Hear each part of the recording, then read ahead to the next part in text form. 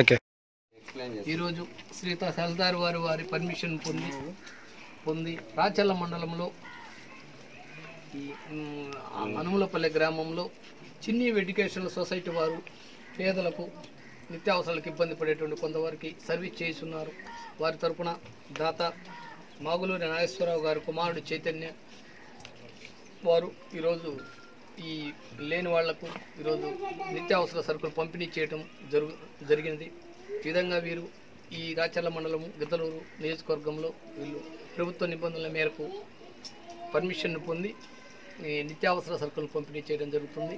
ఈ కార్యక్రమంలో మన ఉమెన్ రైట్స్ చైర్మన్ గోవిందయ్య గారు మరియు గ్రామ రెవెన్యూ అధికారి వీరనారాయణ గారు మరియు మిగతా వాలంటీర్స్ అందరూ పాల్గొనడం జరిగింది. ఈ కార్యక్రమం చేస్తున్న వీళ్ళందరినీ కూడా మేము అభినందిస్తున్నాం. ఇంకా నిత్యావసరాల నీళ్ళు పంపిణీ చేయాలని కోరుకుంటూ ప్రభుత్వ నిబంధనల మేరకు పర్మిషన్ పొందారు. మేము కూడా ఈరోజు శ్రీత రాచల తహసీల్దార్ వారి అనుమతి ఆదేశానుసారం ఇక్కడికి వచ్చి పంపిణీ చేయడం జరుగుతుంది. కనుక సెలవు. నమస్కారం.